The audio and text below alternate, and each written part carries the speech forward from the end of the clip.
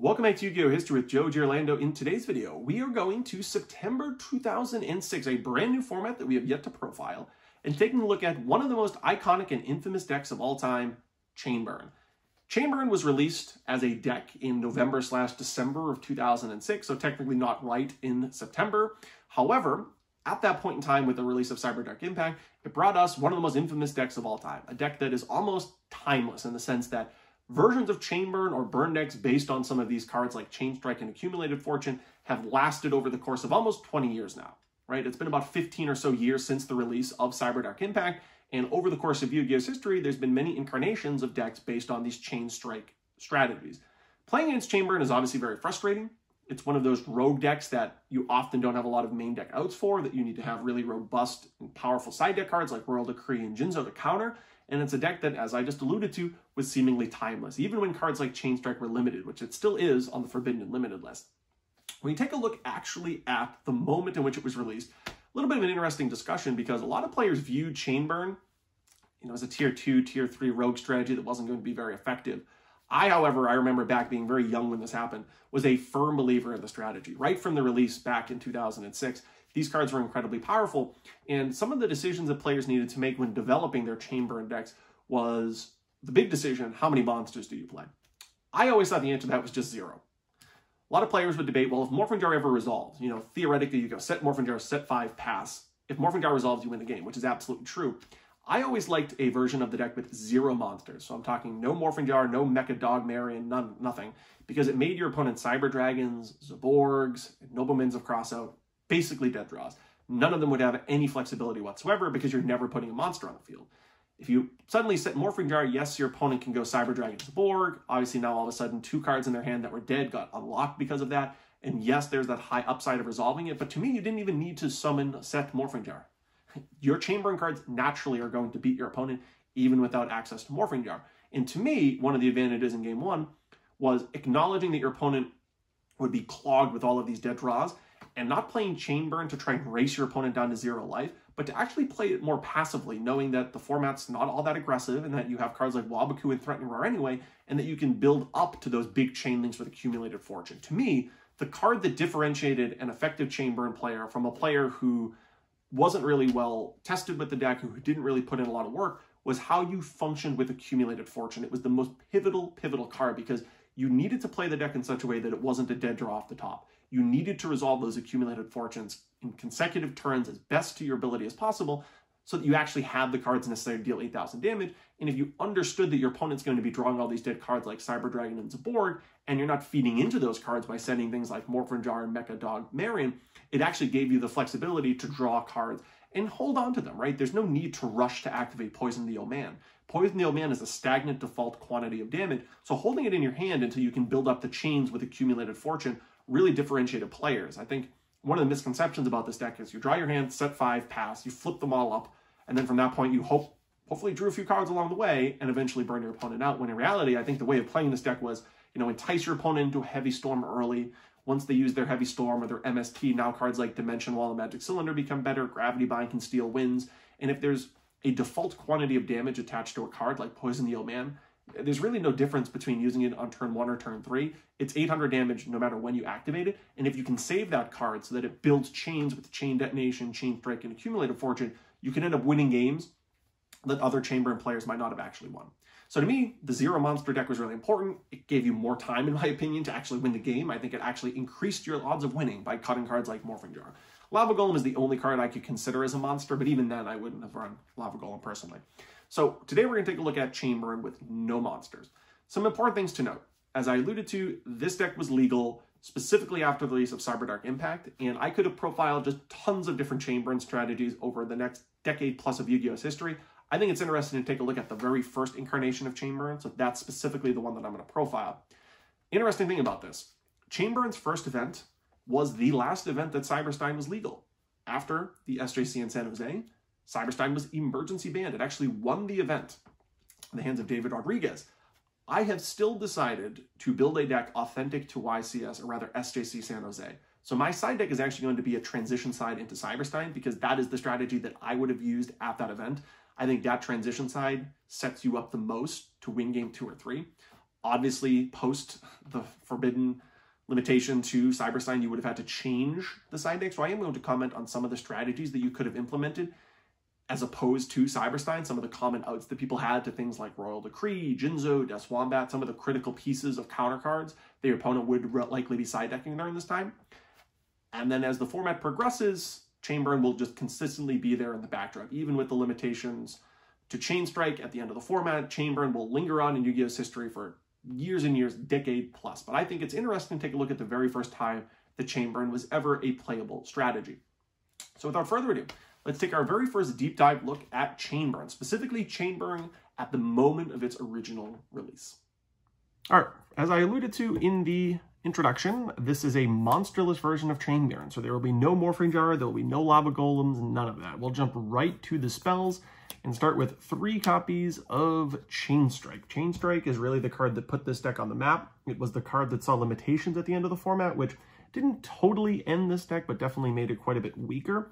Chain Strike was a card that was single-handedly, with little help in terms of things like Ojama Trio tokens already being on the field, the single card that could do the most damage. More often than not, a single Chain Strike did 2,000 points of damage as Chain Link 5, though if your opponent began the Chain Link through something like Heavy Storm, MST, or just any effect, you theoretically could get it all the way up to Chain Link 6 and deal 2,400 points of damage. And the really crippling thing was when you could have two copies of Chain Strike Resolve, where it was Chain Link 5 Chain Strike, Chain Link 6 Chain Strike.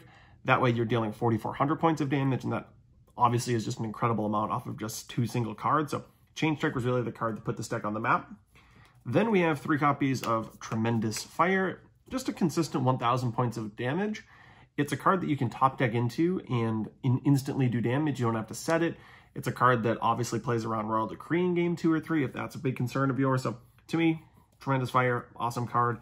It's better than Meteor of Destruction. Meteor of Destruction was another card that you sometimes saw these decks run, but I didn't like the inconsistency of drawing Meteor of Destruction when you couldn't activate it. The 500 points of damage is meaningless when you're playing a deck like this. You're really just trying to consistently deal 8,000 damage as fast as possible, and I don't want limitations with cards like Meteor of Destruction. Then we have Poison the Old Man. Poison the Old Man is good for the Cyberstein side deck, and it's also just a reasonable source of damage. It's a quick play, so obviously you can set it, which makes it a little bit better in that sense than Tremendous Fire. Obviously it doesn't deal as much damage, but Poison Old Man can be set and then build up a chain link on your opponent's turn. A card like Tremendous Fire doesn't necessarily do that. Occasionally you do need the 1200 points of life, and when I just commented a moment ago how it synergizes somewhat well with Cyberstein in the side deck, this could bump you above 5,000 life so that even though your opponent kind of rushed you below that threshold for Stein's effect, this could actually bring you back above it. It also technically can enable double Cyberstein activations if you happen to draw two copies, gaining 2,400 points of life and then going over 10,000.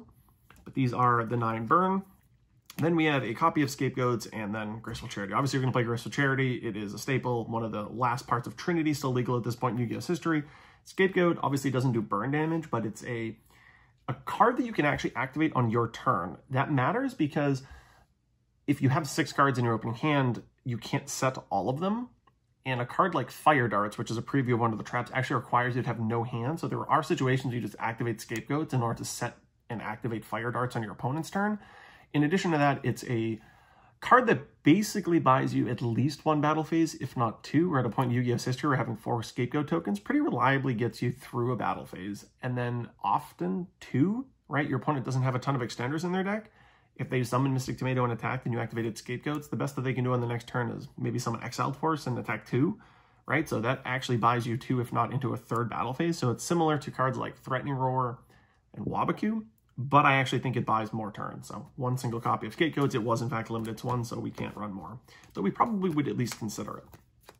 So those are the spells. For the traps, we have three copies of Just Dessert. Obviously, Just Dessert, in and of itself, can only reliably do maybe 500 to 1,000, but when you combine it with Ojama Trio, that's really when you start to have those massive damage outputs where this card is dealing 2,000 points of damage. Combining really well with Just Desserts is, of course, Secret Barrel. These two cards have been friends in Chainburn decks really since the time it was originally a deck. So from the moment Cyberdark Impact was released, all the way up through some of the more modern versions of Chainburn, we see these six cards.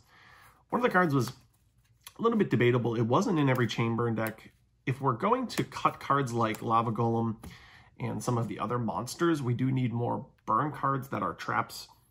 Fire Darts is an interesting one because it's an inconsistent quantity of damage, which can make the math a little bit awkward.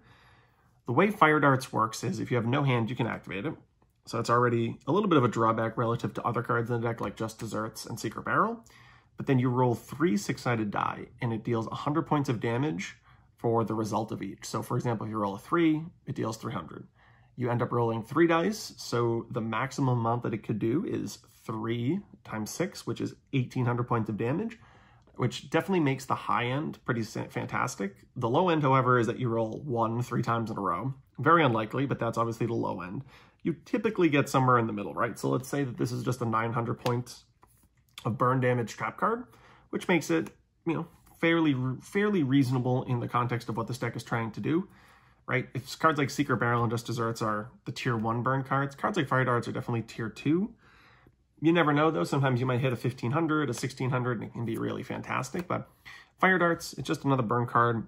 It wasn't an absolute staple. If you actually go back and look at some of the top eight decks, not a lot of them actually used Fire Darts, if any of them. Some of them elected to run some of the monsters. But again, if I'm running pure no monster version to cut back on the likelihood of my opponent resolving Cyber Dragon Zaborg Nobleman of Crossout, well, we're going to have to find something. And Fire Darts was one of the cards that was an option.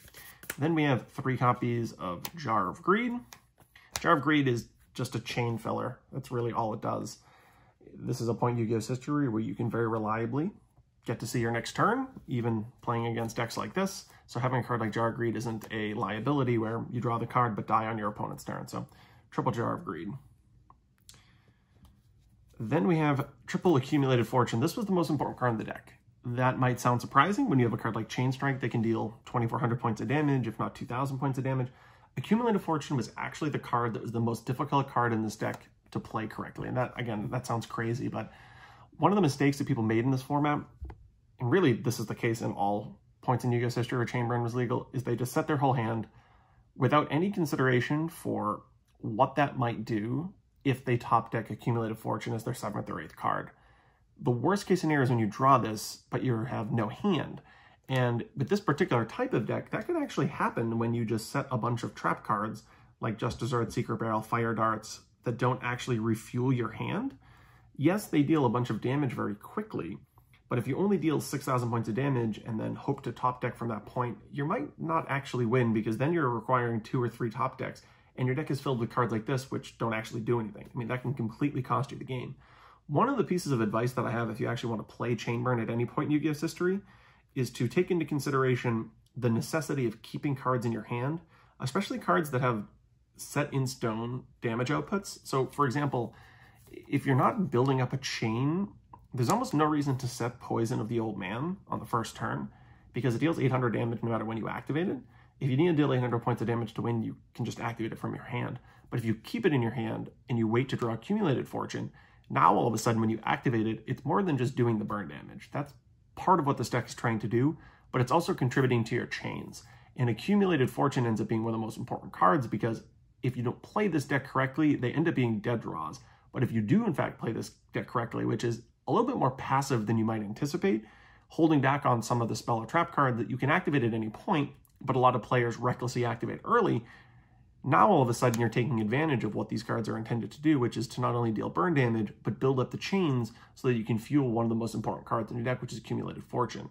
This deck needs to constantly regain that hand advantage so that it can build up a second and third big chain.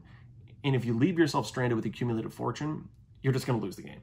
So Accumulated Fortune is easily one of the most important cards in this deck. It has always been one of the most important pieces in Chain Burn, and understanding not only how to use it, but how to build towards it, and also how to make decisions early in the game so that when you draw accumulated fortune, they're still alive is just absolutely critical to running this deck with any level of success.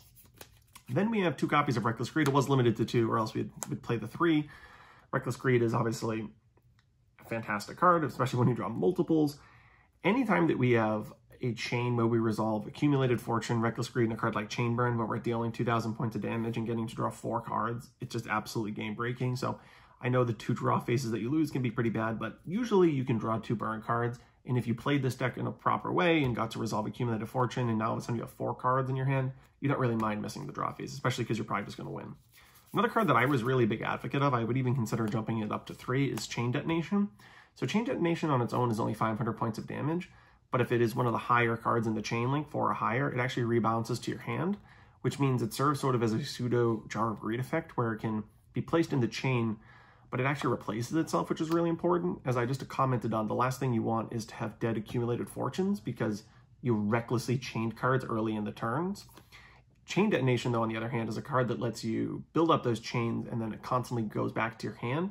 That way, when you activate a card like Accumulated Fortune and you draw two, if Chain Detonation was also in that chain, now all of a sudden you're back to three cards, plus your draw phase, you can do a whole nother Accumulated Fortune on that following turn. So Chain Detonation, a fantastic card.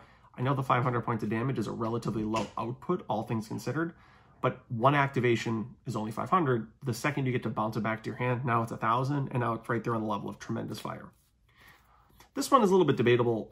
Dimension Wall was not included in all these decks. Some decks had actually all the way up to three of them. It really was one of those tough cards, and it really couples with Magic Cylinder. These are not chainable, obviously. If your opponent plays Breaker, they play MST, they play Heavy Storm, which was legal, of course. These cards don't do anything, which makes them somewhat risky.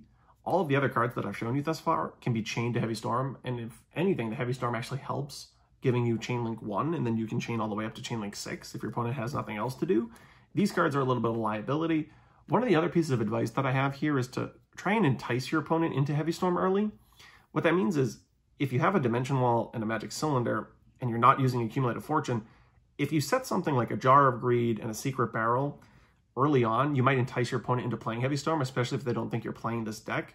Then once those cards have been activated, going forward, you can start to use D-Walls and Magic Cylinders with much more freedom. You only really have to worry about MST, cards that you can readily deal with. You actually have outs to breaker with things like Ring of Destruction. Granted, that's only one out, but it is technically still an out. So one of the things with these three cards is they are so high in damage output. They also stop damage to you, which can be useful, but you need to be cautious about how you use them. Try and bait out a Heavy Storm. Try to see if your opponent has Heavy Storm by enticing them with a lot of back rows early, and then you can set them with a little bit more freedom. So that's another thing to take into consideration that makes this deck a little bit unique in how you game plan. You could play three Ojama Trios, but I've elected only to run two.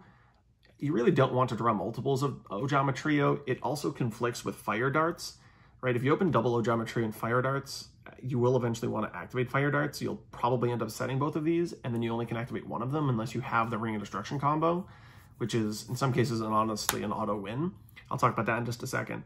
So two Ojama Trio because of the Fire Darts, though even if you didn't play Fire Darts, not every deck ran three copies of Ojama Trio. It doesn't actually contribute to burn damage inherently, it's very unlikely that the tokens get destroyed. However, you obviously have Just Desserts and Secret Barrel that take a lot of advantage from your opponent having Ojama Trio tokens on the field. That's always been the case with Chainburn decks. Then we have, of course, Ring of Destruction.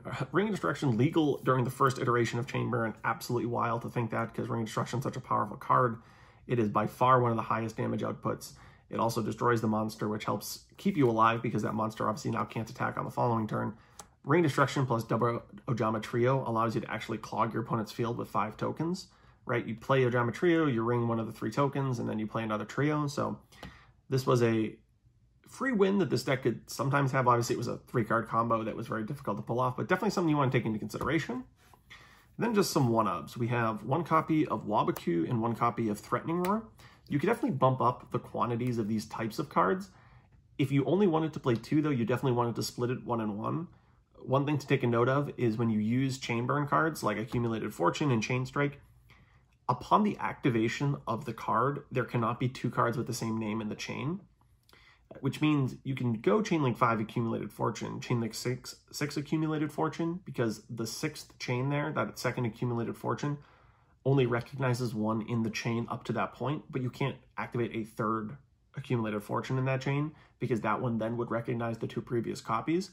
If you were in dire straits and needed to activate both of these, which is obviously redundant, but if you need it solely for the chain links, you wouldn't be able to go Waboku Waboku if you happen to be playing two copies. So you actually do need to split them like this, one Roar, one Waboku. And then yes, from there you could add, add a second Threatening Roar if you actually wanted a third card that had that similar type of effect. But they basically just filled the chain and kept you alive, similar to cards like Jar of Greed that aren't necessarily doing burn damage, but do contribute broadly to your, your game plan. There's one copy of Ceasefire, which is probably worse than Just Desserts. The thing with Ceasefire is there are good flip effects in this format. Granted, if your opponent knows you're playing this deck, they should probably just be summoning Dekoichi and trying to attack you anyway, but you never know. You could actually catch them a little bit off guard, though quite honestly, them flipping Dekoichi is probably not the worst thing in the world because it actually fuels your secret barrel. But nevertheless, Ceasefire, one of the cards that can have a pretty reasonable damage output. And then a Gravity Bind, which fits into that same conversation as D-Wall and Magic Cylinder. If you can reliably set Gravity Bind post Heavy Storm, and then again, you only have to worry about MST and Breaker in game one, and then maybe Mobius. Gravity Bind in and of itself can just auto win the game because your opponent's going to have a really difficult time dealing with it. I will at least point out that there are monsters that can attack under it in this format, like Mystic Swordsman level 2, for example, but your opponent's not going to be able to attack with the Cyber Dragons and Monarchs that are filling their deck and a bunch of the Warrior Toolbox cards that are level 4. So having a free win card like Gravity Bind is definitely something to take into consideration. But those are our traps. So again, absolutely no monsters. Which now brings us to the side deck and the fusion deck. Not the extra deck at this point, the fusion deck. So I did comment on this. I am playing a Cyberstein transition. So we need a Cyberstein side deck or a fusion deck. We have Cyber Endrag, and you actually want more than one copy of this. This deck, because it's running Poison, the old man can go above 10,000 life, so definitely have at least two copies. Have two copies of Cyber Twin Dragon. You definitely want Blue Eyes Ultimate Dragon. That is the highest output singularly, just in attack points. Obviously, the Cyber cards, the Cyber End and Cyber Twin, combine really well with Megamorph and Limiter.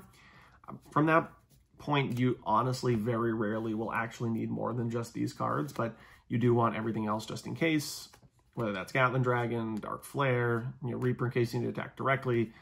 These things are so unlikely to need, but, you know, you might as well have them. Sort of the old Legacy of Darkness collection of fusion monsters. You know, King Dragoon's a good card. Dark Blade, Ojama King, and Last Warrior. You could also throw in just about anything else, but quite frankly, you're not likely to go into anything but these. But it's not bad to have some of these, for sure but we're going to primarily go into Blue Eyes Ultimate or the Cyber package. So let's talk a little bit about the side deck. Yu-Gi-Oh! at this point in time, it's really interesting when you go back and look at the decks. Quite frankly, most of the decks were pretty horrible. I say that with a lot of confidence that with modern Yu-Gi-Oh! perspective, the decks at this time period would be significantly changed. But I will at least give you a brief overview of what you could have anticipated if you were to go back and play this format. So there were definitely burn decks. A lot of the burn decks sided into Cyberstein, or they started with Stein and went into burn. So I'm representing this with Wave Motion Cannon, one of the best singular burn cards. But definitely note the possibility that your opponent's going to either have Stein in the main deck or side into burn from Stein in the main deck, or vice versa. You know what I'm saying? There was a pretty common version of DD Survivor based Monarch decks with Macro and D-Fissure you know, at this point in time, a lot of people are running Treeborn Frog-based Monarch decks. The idea there is if you get rid of the Treeborn Frog through Macro and D-Fissure, and then exploit cards like DD Survivor, you can end up winning the game. So there was definitely that deck. There were plenty of Toolbox Warrior-based decks, just a ton of them. So here is what I'm going to represent by that. And honestly, if you're not running a Toolbox-based Warrior deck, you could just have these in your deck anyway. I've commented on the quote-unquote good stuff deck quite frequently throughout these videos, and there were just tons of good stuff decks. I would almost qualify most decks at this time as good stuff decks. There was a anti-Thestalos Dark World deck. What I mean by that is, obviously Dark Worlds get even better effects when they're discarded by your opponent's card effects. Thestalos was one of the more common monarchs, probably second to Zaborg. Dark Worlds had a little bit of a resurgence here where people were playing Thestalos all over the place, and thus Dark Worlds were a pretty reasonable counter. Graceful Charity was legal, which actually was by far the greatest Dark World card of all time, even though it doesn't say Dark World in its name. The idea of drawing three and discarding two could result in double Dark World hitting the field, and then obviously the draw three is ridiculous. So this particular deck had absolutely one of the most crazy Trinity cards of all time at its absolute best point. So Dark World had a very unique ability to win the game out of nowhere because of Graceful Charity. Then we have, as I alluded to, Treeborn Frog-based Monarch decks. A lot of people refer to it as Spicer Monarch. It was a Monarch deck that had Zaborg, Thestalos, and then the Apprentice engine with our friend Dekoichi. So that was one of the more popular decks. It actually won back-to-back -back events at this time period. Kyle Lopez and Human ran exactly the same deck, at least almost exactly the same deck, based many ways off of the deck that Ryan Spicer used early on in this format. It was a Monarch deck with the Apprentice engine tons of people copied it. It was by far the most common version of Monarchs, but there are other Monarch decks too. You could play it with Spy, you could play it with Tomato. There was a version of a Tomato beatdown Monarch deck that Mario Maffeo ended up topping with during this time period, a well-known player from Comic Odyssey. So yeah, the Apprentice deck was really popular, but there were other versions too. Cyber Dragon was basically just in every deck, so I feel like I should point that out. Whether it was in the Monarch deck, whether it was in the Apprentice version, basically everything over here. There was a Cyberstein, or uh, rather a Chimeratech OTK that was sort of on the fringes. This deck didn't really see a ton of popularity until Cyberstein was emergency banned after this event, when David Rodriguez won with Cyberstein OTK. At the point in time in which Cyberdark Impact was released, they actually emergency banned Cyberstein, which definitely requires us to change the side deck, but I'm sort of being authentic to just that event.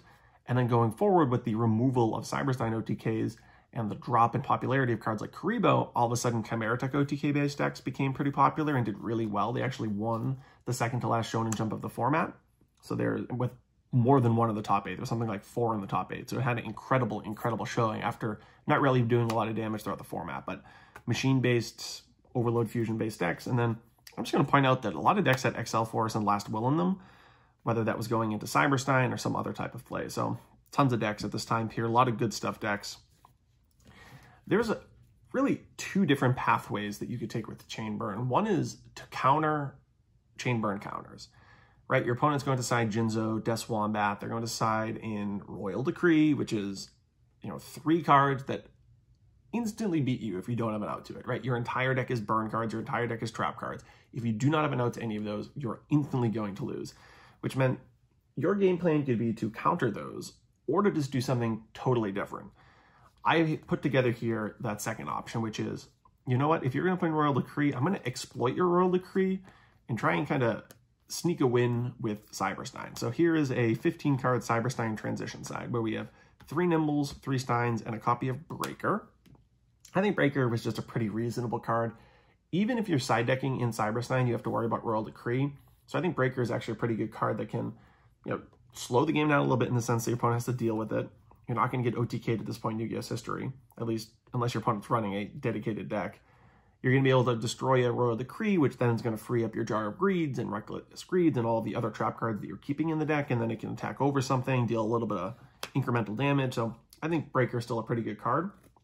But here is our monsters, and then we have additional Cyberstein cards. We've got three Megamorphs, we have Heavy and two true Trunades, plus MST for back row removal, and then a single copy of Limiter. So a very, very streamlined side deck. We transition side these 15 in, and what that ends up looking like. So I'm going to put to the side sort of what the format looked like and talk a little bit about what cards you end up taking out. And then we can talk about what your deck is actually and going to look like. So these can stay in because they at least stop battle. Gravity Bind can stay in. Ceasefire has some application. These are totally fine.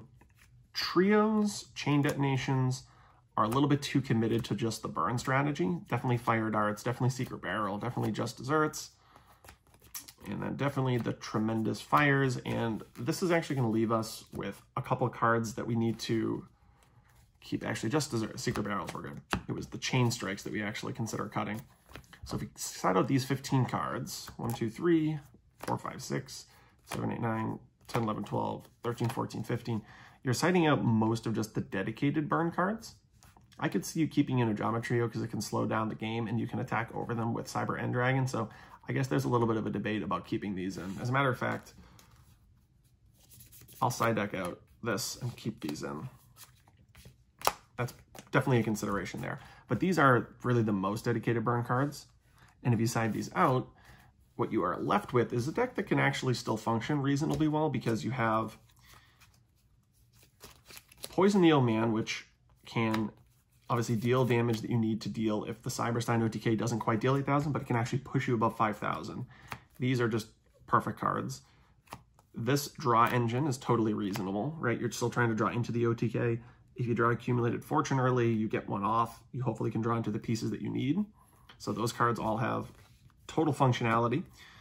And then we have Ring, which I know can affect your life points, but is still defensive. These are totally reasonable in buying new turns. This can just stall you out. These can all stop battle, all four of these.